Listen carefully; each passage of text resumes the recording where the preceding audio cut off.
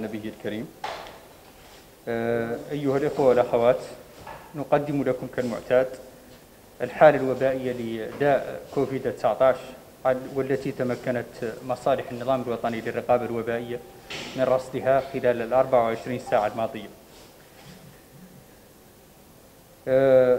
بالنسبة للإصابات الجديدة 137 إصابة جديدة منها 134 حالات من بين حالات المخالطين ثلاث حالات مجتمعية وصفر حالة مستوردة.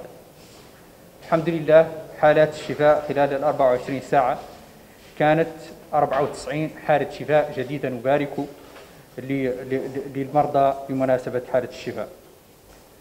بالنسبة للوفيات حالة وفاة جديدة واحدة نترحم على روح الفقيد ونتمنى له الرحمة والغفران.